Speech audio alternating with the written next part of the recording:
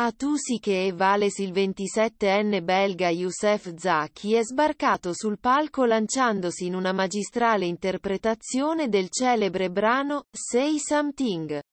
Performance struggente e coinvolgente, che ha convinto tutti, pubblico e giurati, per il giovanotto, che parla benissimo l'italiano, avendo vissuto nel bel paese dalla terza elementare fino alla terza media c'è stato il parere favorevole di tutti e quattro i giudici.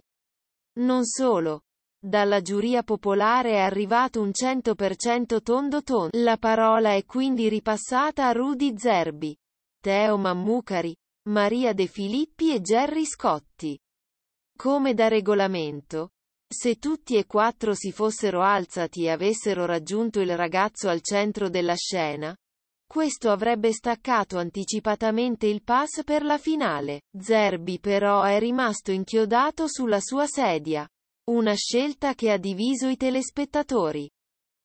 Zaki, che in Belgio, a Bruxelles, si guadagna da vivere facendo l'impiegato e il cantante da strada.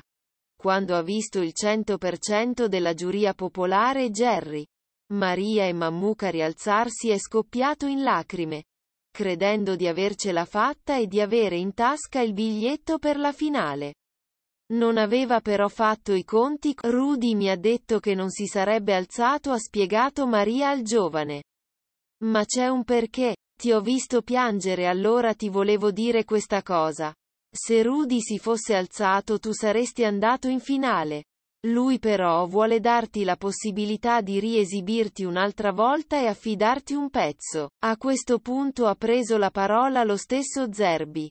Credo che a te piaccia conquistare le cose e che tu provi piacere a esibirti. Per me tu sarai felice di ricantare e conquistarti la finale. Ho in mente una canzone che esalti le tue capacità e te la indicherò tra non molto. Grazie a tutti, ha chiosato